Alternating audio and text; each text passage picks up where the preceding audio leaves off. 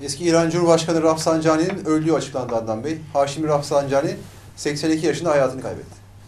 Resmini görelim. Evet. Allah gani gani rahmet etsin. İnşallah. Allah makamını cennet etsin. Allah cennette kardeş etsin.